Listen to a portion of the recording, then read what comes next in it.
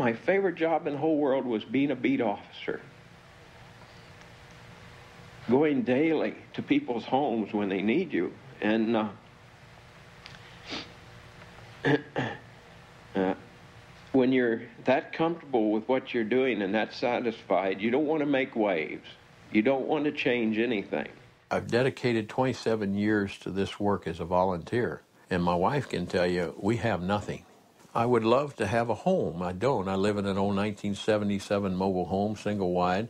My bride deserves better than that, but we live on my small medical pension and we don't have hardly anything. But I can't stop. We have the the the jury box, we have the ballot box, and then we have the cartridge box.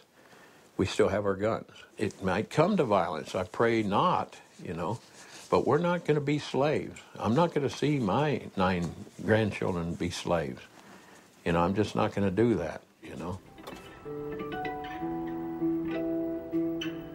There's never been an American war, small or large, in which access has been so limited. The so-called war on terrorism has created a climate of effective censorship in a land claiming to be the home of free speech. May it have been uh, an inside job? Might these people have gotten help from the inside? Now there's a lot more evidence that suggests it's almost certainly the case. Loose Change Final Cut is a 9-11 truth documentary questioning the official government story of 9-11. I've seen it probably 50 times now. I watch it all the time whenever I get time. I'm not on a spiritual quest for the truth, you know. In a sense I am, but it's not a spiritually driven thing, I don't think. It gets kind of confusing. I got it down in my head, though. That's my boat, and the other two boats are my boss's, and they have another boat. You can see the roof of their house way over there. I was originally one of the carpenters that helped build the, the house. When we got done building the house, you know, they offered me a job to stay on as a caretaker. So, you know, it was either go back to Orlando and sit in traffic all day, live out on an island, and take a boat to work. Attention all citizens! We are giving away free DVDs that proves the official government story of 9-11 is a lie and a cover-up. I encourage each and every one of you to take a free DVD home, watch it, and decide for yourself. This is more important than how much Britney Spears hair sold for on eBay, Dancing with the Stars, or who's going to be America's next idol. Sure can, ma'am. Thank you.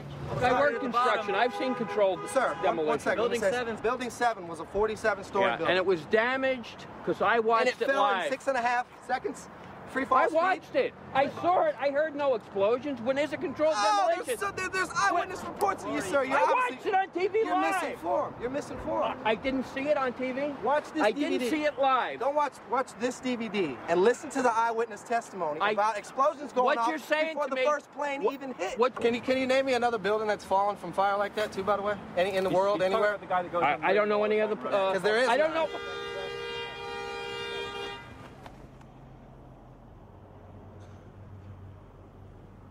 I was a big part of the anti-war movement when the Iraq War started. I marched in Washington. It was estimated at you know 500,000 people. Those politicians probably weren't even in town that day. They could care less that we were there. 9/11 is the justification for everything that's going on. So why not talk about 9/11?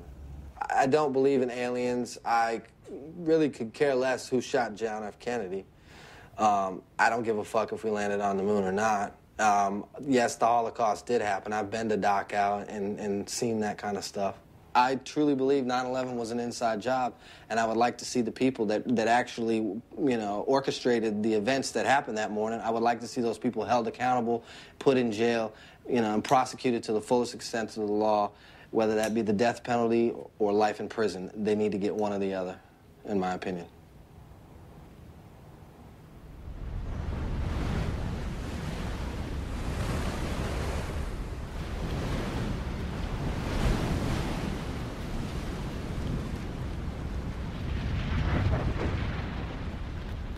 They were told to go to the convention center. They did. And what I saw there, I've never seen in this country. I saw two gentlemen die in front of me. They were just covered up in their wheelchair. Babies, two babies, dehydrated and died. These are the families who listened to the authorities, who followed direction, who believed in the government, and they followed directions. They walked miles, floodwaters up to their chest for a whole day and they follow direction. These are law-abiding citizens who have been left behind.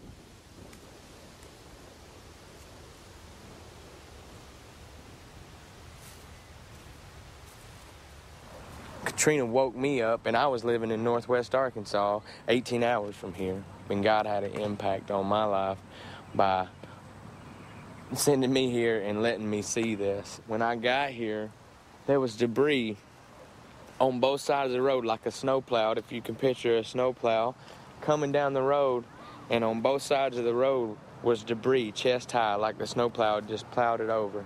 And I think FEMA's a complete failure, and the government shouldn't say, trust us with your money, because we're going to help people, because that's the kind of help they get after two and a half years.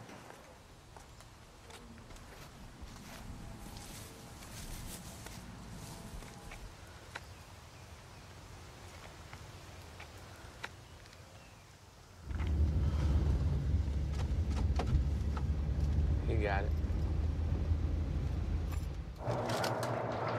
We feed about five, six hundred meals a day out of here right now for all the volunteers that come down here to help out their fellow American citizens so that FEMA don't have to, because Lord knows they don't know what the hell they're doing.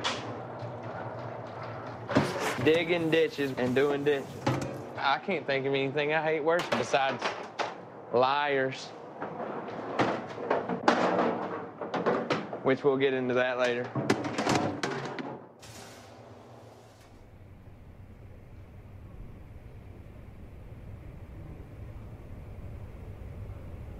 The world definitely changed on 9 11. I think anybody would say that. It, it- when you turn on the news, what is the first thing? What do you hear almost every day? You hear post 9 11, post 9 11, terrorism, terrorism, terrorism, 9 11, terrorism, Iraq, weapons of mass destruction, weapons of mass destruction, Iraq, Afghanistan, terrorist, Al Qaeda, Al Qaeda. All these words, all these things I had never heard until 9 11. I never heard of any of this, any of these people. It's woke me up and it's changed my life and it's made me want to stand for something. It's made me want to fight for my people. It's made me want to wake other people up to understand what is going on. I, you know, I want people to wake up to the global elite that run this country. I want to see a change on this earth.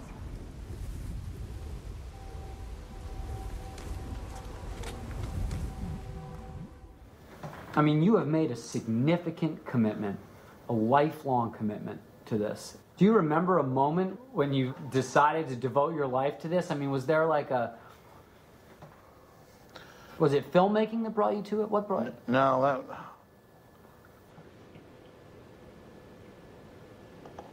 Waco.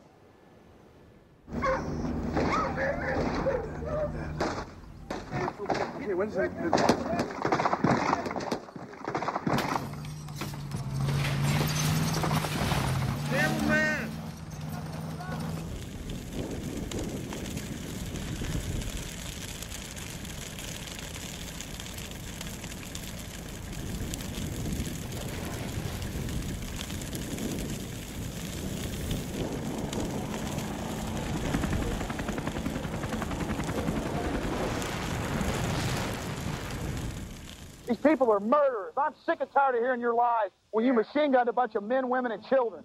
You got a big problem, buddy. You sit over here. I'm not afraid of you guys. I'm a law-abiding citizen, and I'm sick of it. You sit over here and you talk about how the children huddle in the corner and how the ammunition that they had is what killed them. All the rest of your garbage. You ought to be ashamed of yourself.